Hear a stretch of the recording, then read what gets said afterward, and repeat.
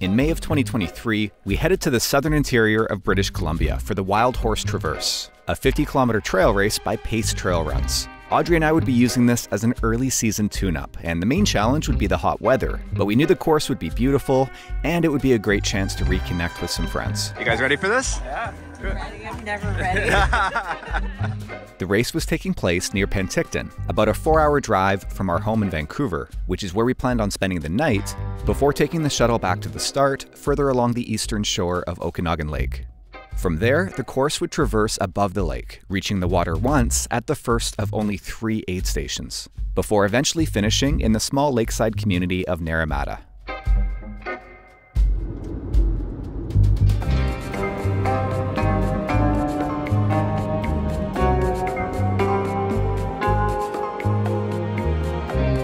The Okanagan is known for its vineyards, and it's a hub for wine enthusiasts.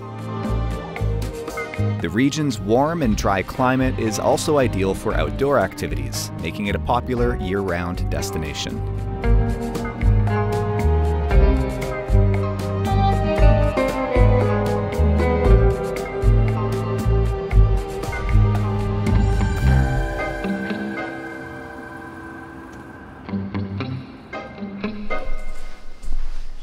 Oh, what happened? So the towel rack fell on the ground and cut. Look at my poor toe. It hurts so bad. I think this piece fell right on my toe. Oh no. of course, the day before the race. I was really impressed with this motel up until now. so we've arrived at our little motel here in Penticton. I've already got my race kit uh, laid out and ready to go. Um, it's going to be really hot tomorrow. We are required to have capacity for a liter and a half of water. I'm actually going to bring my water filter as well because fortunately the creeks will be running so I should be able to pull water en route if need be.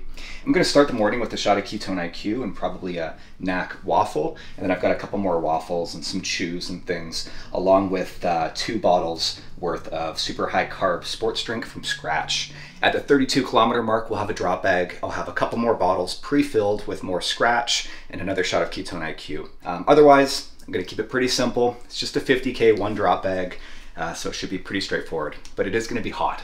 So my kit is very similar to Jeff. Uh, basically, I'm leaving with three bottles, so capacity for 1.5 liter. I've got my mandatory gear, so a light jacket and a space blanket. I'm also going for a light colored outfit. I think that will be key. Uh, I'm gonna be carrying a buff so I can fill it up with ice cubes. Hopefully they have ice at the aid stations to cool ourselves down. Um, otherwise just leaving uh, some Body Glide, uh, some spare sunscreen, and a little bit of extra calories uh, at the aid station at the 32k mark. And how's your toe?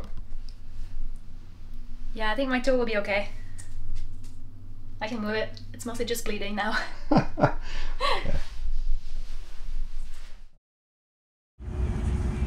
After dropping off our car at the finish line, we caught an early morning shuttle back to the race start.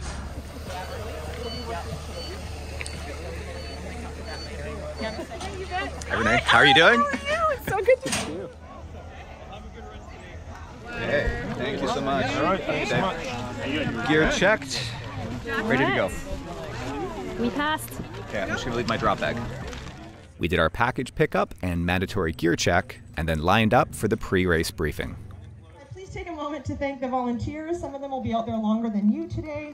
Um, if you, yeah, you're an amazing volunteer team. We had uh, Nicole camped out overnight with her dog. You guys saw our social media last night at Aid One. Now we get into the nitty gritty. This race is not called the manicured horse. Okay, it's not called the buff horse. It is called the wild horse for a reason. Hopefully your expectations are in check. You're not expecting too much groomed, clear, or buff trails out there. If you want those, you should do Nimble Bear next year. Um, there is some overgrowth and bushy areas. There's some very rugged terrain waiting for you guys, so I want you guys to mentally prepare for that. Remember that I said that. Be strong out there. Take uh, care of each other. Stay tough. Smile if you're in a low point. You can always fake it till you make it. And I look forward to meeting every single one of you today in Naramata for a high five, a hug, a cold beer, and a celebration with all your wild friends today. Thank you so much for choosing Pace. You guys can come on up to the. We'll crank up some tunes, get you guys pumped up, and get you on your way. Ready to go? Yes. Let's do it. Ready? Yeah, I'm ready. You? Nice. Oh yeah. 45 seconds till start. Have a good run, Janelle. Here we go in 10, 9, 8,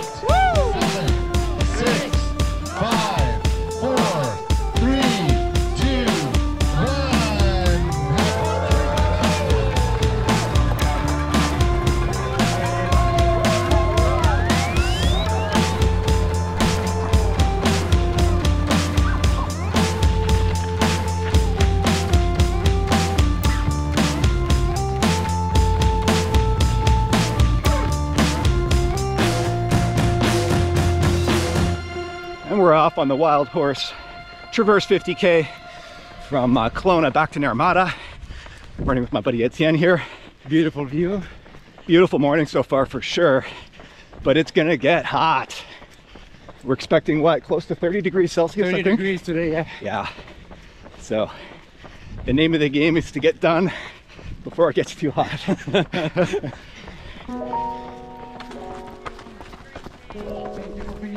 Thanks for being out here, guys. Appreciate it.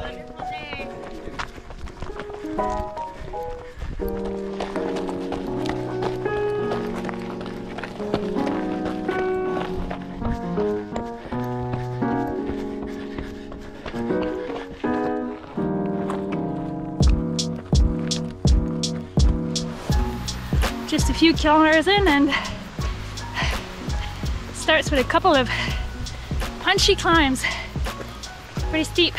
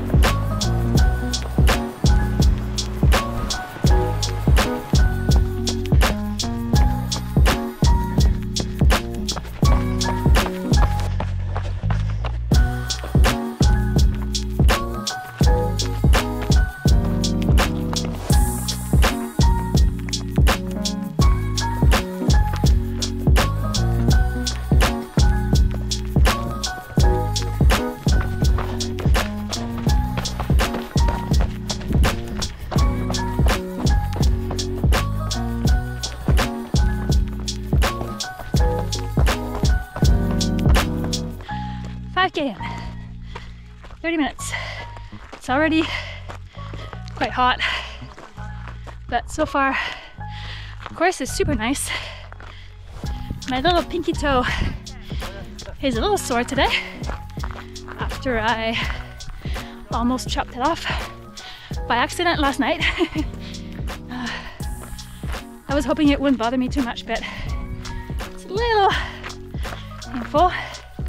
I can feel it when I run.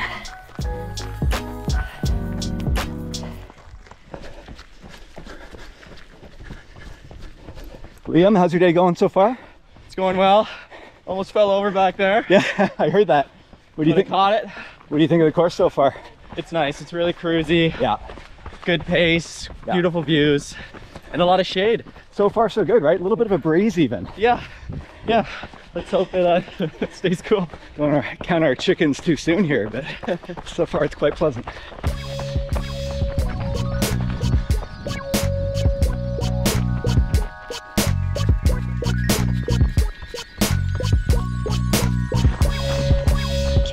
Okay, 10k in, an hour, an hour 10.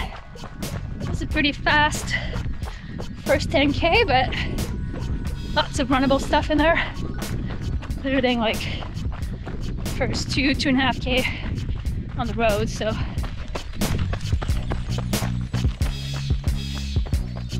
All right, so we're at just over 15k here, about an hour and a half into the race. Got a good, uh, good pace, big group of guys, lots of good conversation, passing the miles, and there's a nice breeze too. So we've got a really good pace going. Hopefully we can keep this up. this little section is so nice, super runnable.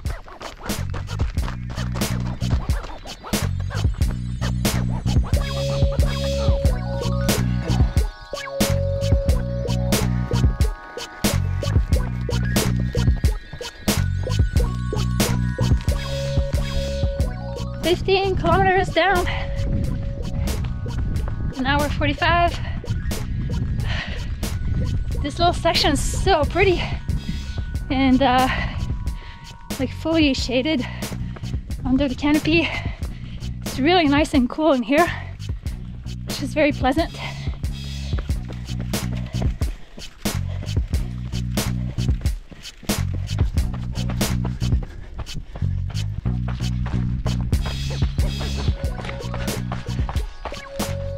I soon caught up to my friend and Salomon teammate, Janelle Hazlitt, who would go on to finish third place female. Hey guys, thanks for being out here. Hey Janelle, how you doing? You're looking good. You look tanned. You look heat trained. Nice job. Nice work. On the out and back down to the water, out to the aid station here, uh, which should be at around 21 kilometers. Uh, so we're passing the lead runners now, which is always fun. Nice job.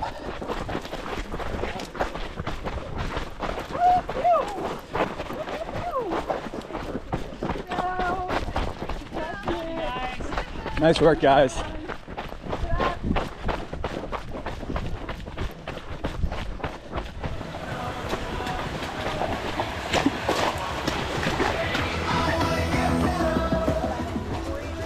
Forty-three. Thanks.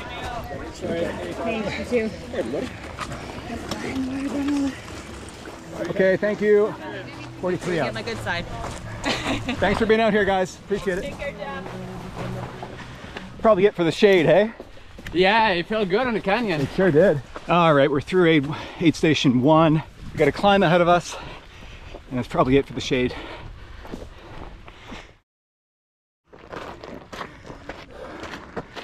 Oh, we're climbing back up from the water here.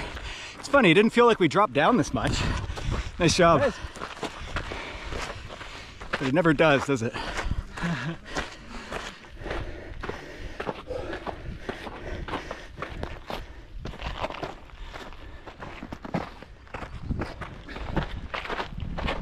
All right, so I've just passed the 20k mark and I'm starting the descent to the first aid station.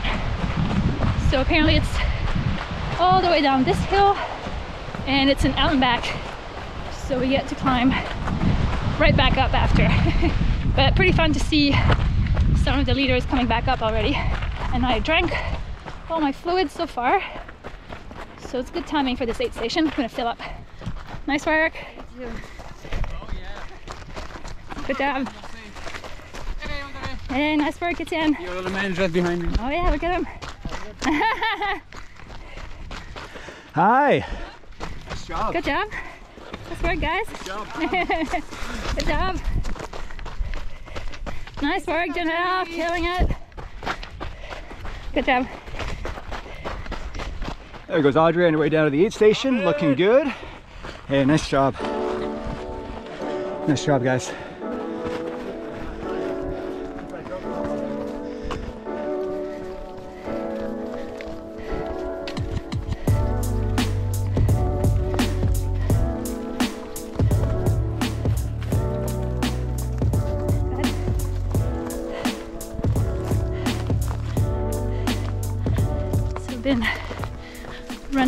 With a group here since uh, the aid station, which is nice. Um, except the trails are very dusty, um, so I'm eating dust here. And now we're a lot more exposed in the sun, and uh, the heat is starting to be real. so I'm drinking lots. Make sure I don't get behind on my hydration and nutrition.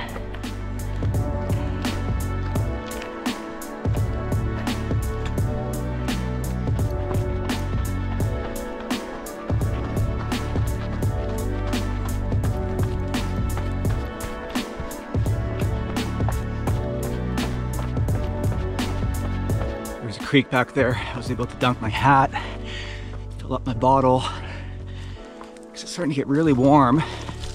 So now is the time where heat management becomes really important.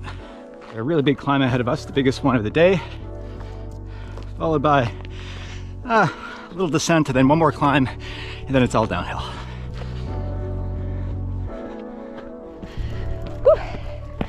It is hot now. Proper hot. I'm approaching the 30k mark. I'm feeling good though. I think I'm uh, managing the heat pretty well. Taking my time on this section because I knew this was going to be the crux. Got most of the climbing and um, those technical bits. But uh, yeah, the top here just opened right up and it's beautiful.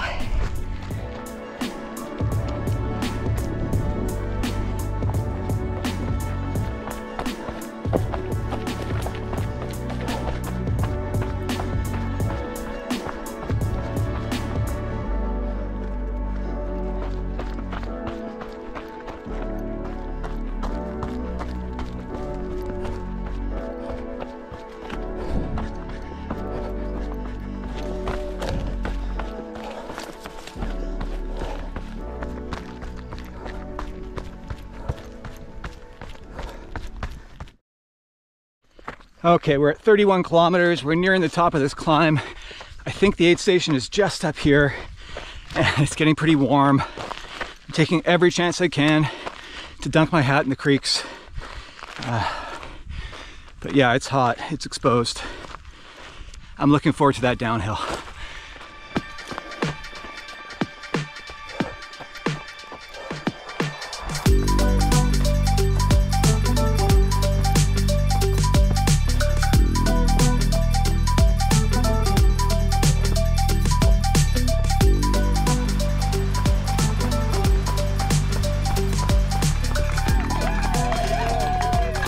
Thanks, guys.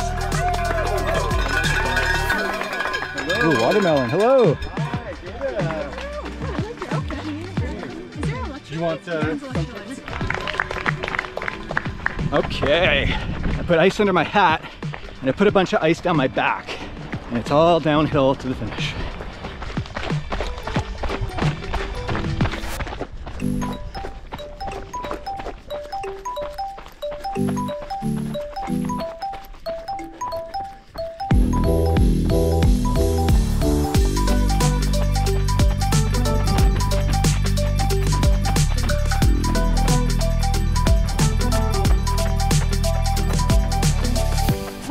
Just about to hit the second aid station here. Hi. Thank you. And yeah, it's, I'm repeating myself, but it's really hot out here.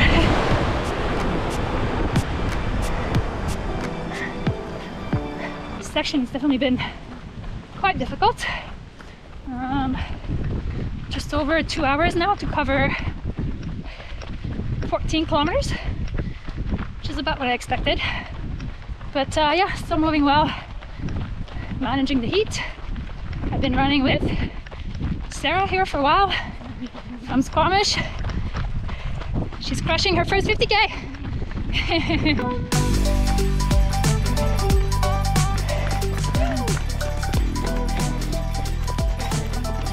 Hello, 46. Thank you.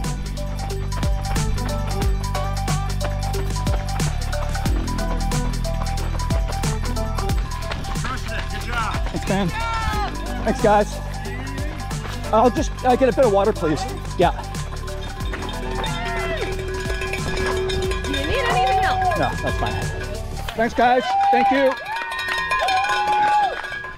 Okay, that was the final aid station. There's only about 6k left, but I was running pretty low on water, so I got one flask filled up. And I had some pickles, so that should last me to the finish. Hey there.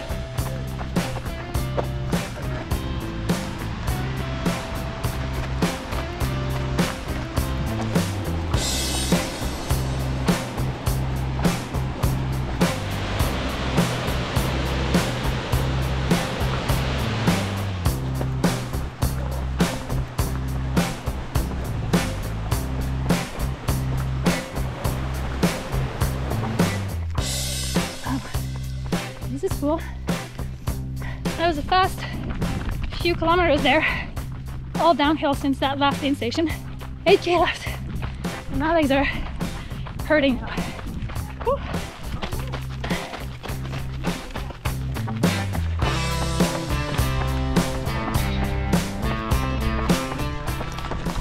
Thank you.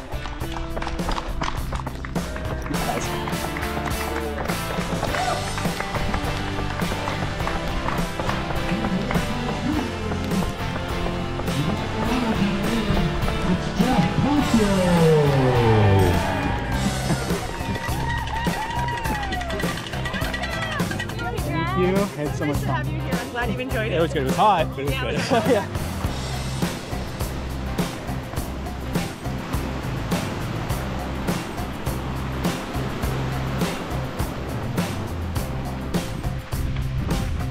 Just over 2k to go. Whew, so close. Hey, you too. Nice work. Hi. No problem. That's okay. I'm not allowed to stop and That's okay. A couple seconds will not make or break my race. Thank you so much. okay, let's do this.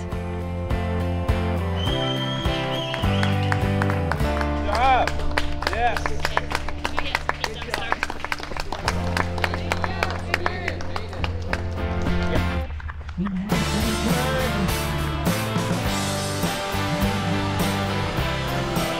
it's Audrée Lafreniere.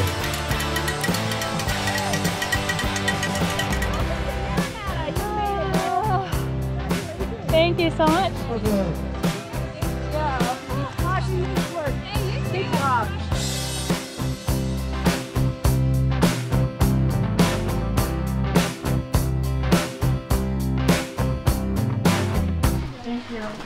Oh, that looks good.